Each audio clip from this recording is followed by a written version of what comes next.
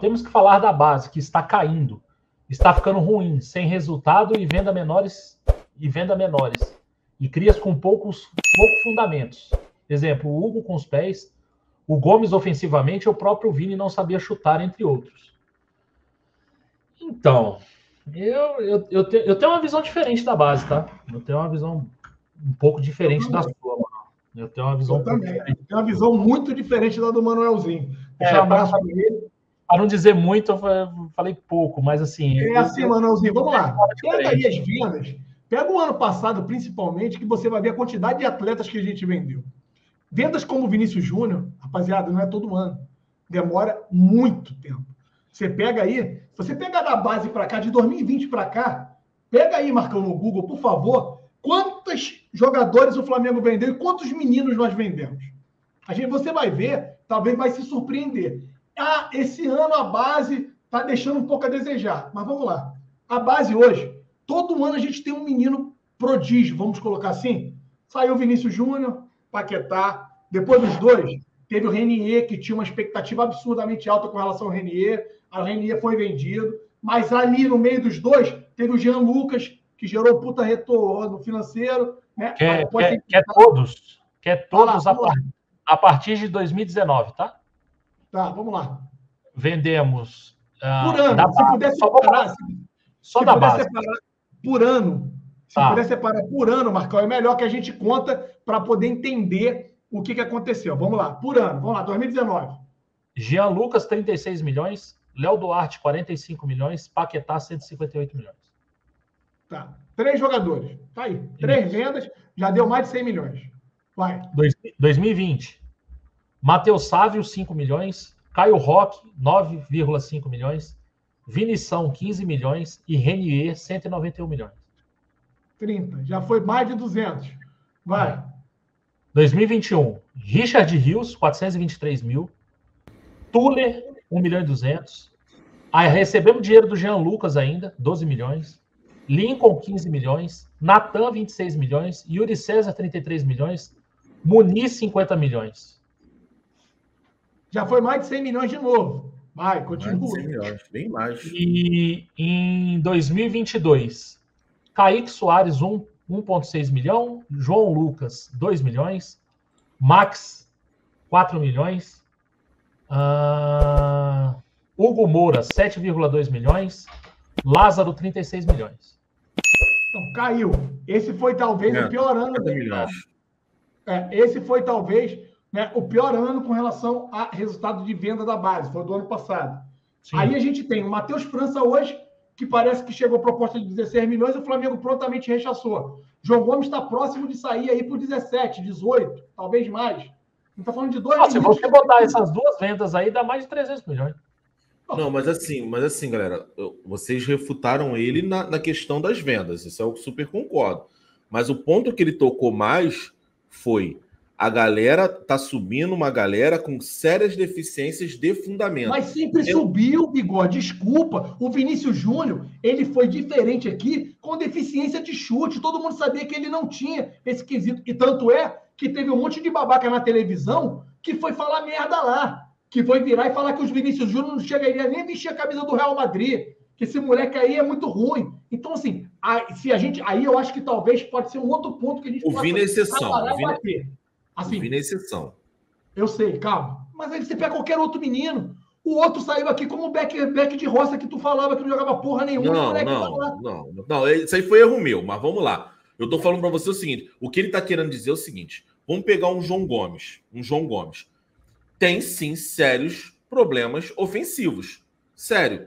O que está falando do Hugo? O goleiro que tem problema com as pernas. O que, o, o que eu acho que ele quis dizer ali na segunda foi o seguinte: tá subindo uma galera da base, tá subindo uma galera da base com sérios problemas de fundamento. Entendeu? Tem gente que tem. É, é, é, vamos dar exemplo. O cara é muito veloz, mas o passe do cara é horroroso. Ou o cara ah, é muito. Olha só, quer ver um exemplo? O Jorge. Vamos falar do Jorge lá atrás, que foi um lateral que surpreendeu na época do, do merengue, na época do Anderson Pico, da puta que pariu. O Jorge tinha sérias deficiências defensivas, porque era um jogador com característica mais ofensiva, entregava, conseguiu. Eu entendo que os meninos aí a gente pode entrar no outro quesito. Que aí o outro quesito é: você, eu acho que estava na live comigo aqui, a gente desceu a marreta no treinador de base do Flamengo. Esses Sim. caras que são treinador de base, eles têm hoje capacidade, conhecimento para desenvolver essas características nos moleques? Acho que o melhor que a gente tinha, a gente perdeu. Então, foi o cara que foi pro Bragantino. É, o cara que era do Internacional. O Flamengo Matias, foi lá, identificou nele um puta potencial. Era um cara muito bem quisto, né? Trabalhando com meninos. E aí, cara, o cara ficou um tempo aqui muito curto, saiu daqui foi pro Red Bull Bragantino com a proposta melhor. A pergunta correta, ao meu ver, é: entendam, a gente tem hoje, aonde deveria ter, que é um trabalho com os meninos. Vou te dar um exemplo, Bigode. Vamos pegar o Gabigol, que é ídolo aqui. Gabigol tem deficiências críticas, Bigode. Não sabe cabecear. Ah, fez gol de cabeça hoje. Mas não sabe cabecear. E o Gabigol não sabe chutar com a perna direita. Ou seja, a base do Santos não trabalhou o Gabigol para que ele pudesse chegar mais completo no profissional. É porque virou o Gabigol. É porque ele com a perna esquerda ele é um monstro. E aqui no Brasil ele sobra. Mas assim, todos os meninos sobem com certas deficiências. Aí eu acho que o trabalho de base a gente pode levar isso que eu acho que o Manuelzinho trouxe para a gente poder debater. É bem feito o trabalho de base no Flamengo? Porque tem muita gente que fala assim: ah, o menino não teve base. Vamos pegar o Bruno Henrique. O Bruno Henrique parece que foi jogador de várzea, né? Sim. Michael foi jogador de várzea também. Damião. Ah, falta né, base, porque o cara não trabalhou, não desenvolveu isso, não desenvolveu aquilo. A pergunta que eu acho que é pertinente, eu acho que vale muito a pena a gente fazer é o seguinte: será que os profissionais que estão na base do Flamengo hoje conseguem lapidar os meninos? Conseguem desenvolver e aprimorar as características que ainda são deficientes em cada um deles? Eu acho que essa é uma pergunta pertinente.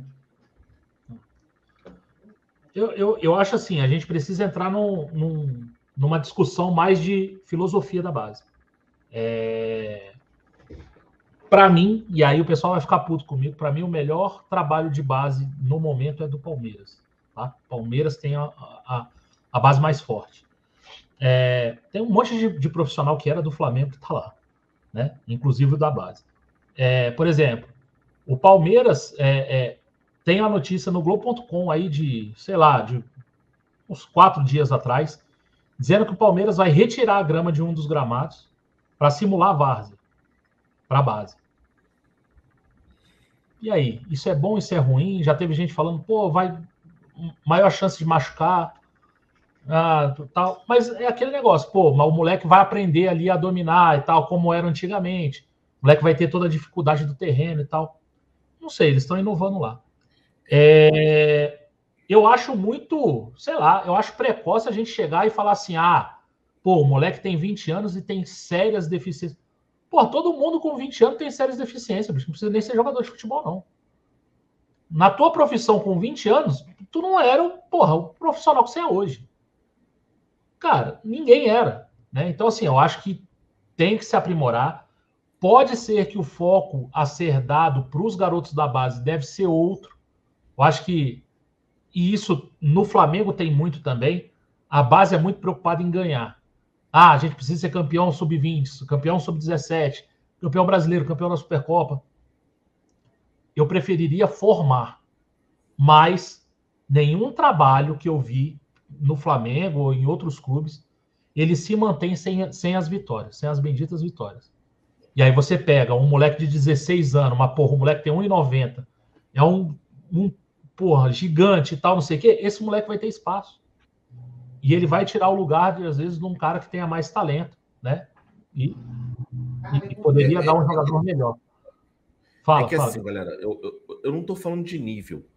É óbvio que um menino da base ele não vai chegar no, no profissional voando. Independente de, de ele ter potencial ou não. Não vai, não vai. O que eu acho, o que eu entendi do Manuel, e eu concordo em, em, em alguns pontos, é: estamos falando de fundamento. Não, eu, fundamento, eu fundamento eu o, time, o time profissional ele pode até ajudar. É óbvio que você, você aumenta o nível, vai ter profissionais até mais capacitados. Estamos falando de fundamento. Não pode um atacante não saber cabecear. Nada. O Gabigol sabe cabecear. Ele não é especialista em cabeceio. Dizer que o Gabigol não sabe cabecear, eu acho que ele sabe. Não, não sabe. Não é especialista. Ele é Alan, ele é o Ronaldo, o Romário sabia cabecear. Ele não era especialista. Se Alan, tu botar de fundamento, Alan. Eu sei, então, mas se você botar 10 bolas na cabeça do Gabigol, ele vai errar 9 ou 10 e vai acertar uma a cada, sei lá, uma a cada 100. Ou a cada Alan, 20. Alan, Vinícius, Júnior. Vinícius Júnior aparece na cara do gol, tenta chapar, fraco, o goleiro pega. É uma coisa. O cara não conseguir chutar é outra. Estamos falando de fundamento. O que o Neneca apresentou com os pés não pode a gente achar que é normal. É Não, fundamento. mas aí, aí, aí a gente está pegando um exemplo, né? básico. Tá É. um. Ele tinha que ter vindo com fundamento básico. Ah, não. Pô, mas tem que melhorar um pouquinho a saída de bola? Vai melhorar. O que eu acho que ele tá tocando é fundamento. Alguns fundamentos não vai ser um profissional que ele vai aprender. Ele já tinha que ter aprendido. Não, geralmente. Agora ele vai geralmente- aprimorar. É o que eu tô falando. O Romário, ele sabia cabecear. Só não era a especialidade dele. Não, não, não, esquece, esquece o Romário, pelo amor de Deus. Pela, É. Não era a especialidade do Romário cabecear, você tá de sacanagem. O que o Romário fez de gol de cabeça e subindo, Não, não é especialidade, Alan. Alan, acabei de falar. Ele fez vários gols de cabeça. Não era especialidade. Não era igual o Jardel. É isso que eu tô falando. não, é, é porque o Jardel é, o- igual o Gaúcho. É Então, porque o Jardel o Gaúcho tinha qual é a isso. especialidade do Romário? O Romário era, era tudo, era completíssimo. Não, qual é a especialidade do. Romário? Cara, Gol. não sei, cara. Aparecer a maioria dos gols do Romário é isso. Ele não era especialista, mas ele fazia. Ele era diferenciado, ele fazia. Tô falando de especialidade. Não, O cara porque, tem que saber é o básico. Talvez, talvez a, o teu especialidade tá me confundindo. Porque assim, vamos pegar o Jardel, que você deu, trouxe como exemplo, e o Gaúcho. Quem eu vi em 1992, se eu não me engano, olha que minha memória é uma merda, mas assim, o Piá chutava a bola rasteira, ele batava, ele botava a cabeça na grama e puf, Especialista bola é no.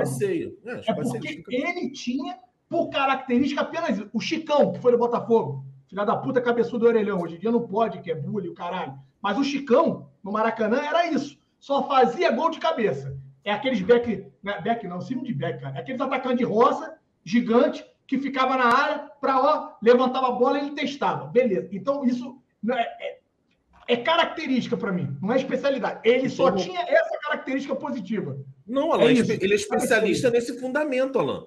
Ah, entendi. Entendi. Ele é Ele especialista. Só que assim, o Romário, pra mim, e aí quando a gente entra na questão do Romário, cara, o Romário, pra mim, foi um atacante híbrido. Porque o Romário, ele fazia de tudo. O que você imaginar. Ah, não é O Ronaldo sabia o Romário cabecear? não? Romário Ronaldo pequenininho. O Ronaldo Sim. sabia cabecear? Com o Ronaldo. Ronaldo Fenômeno? Fenômeno? Não. Pra mim, não. Não, ele mesmo fala que ele não sabia cabecear. Ele não sabia, não. Ele não era o fundamento principal dele, não é. Mas se você mandar uma bola na cabeça de um Ronaldo Fenômeno, ele livre com o goleiro, ele vai fazer o básico, Alan. O que eu tô falando é fundamento. Fundamento não é. É o que eu tô falando. Eu consigo dar um passe de esquerda, mas eu não sou ambidestro. O básico ele tem que conseguir fazer. É isso que eu tô falando para você. É, é, eu sou um, um grande passador, sou o Zidane, pô, beleza. Mas um passe de dois metros você tem que dar, mesmo você não sendo especialista. O Mas, mínimo. então, é, É o a- mínimo, a gente entrou por uma mínimo. discussão assim que, eu, assim, eu entendo que falta fundamento, tá? Eu não estou falando que os jogadores saem completos ou que com os fundamentos é, é, todos bem trabalhados, a gente não reclamava, o, o Marcon, a gente não reclamava que o João Gomes da- era muito afoito e fazia falta pra caralho pra dar bote? Sim, sim, sim. É fundamento. É, mas, mas aí, aí não é fundamento, Não. né? Aí, aí você vai lapidar o jogador É, ele é- poder é- jogar. talvez seja mais, mais a cabeça. É, É, é mais aí- emocional, Bigode. É mais como ele entra é. pilhado às vezes. É Isso. trabalhar um outro fator, porque isso para É. mim é fundamento.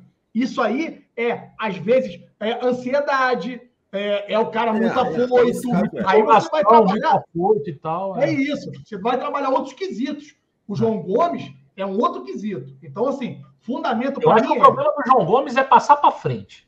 Ele É. tem dificuldade no passe de quebrar a linha. Ele não tem esse passe. Você E eu nem sei se ele vai ter, tá?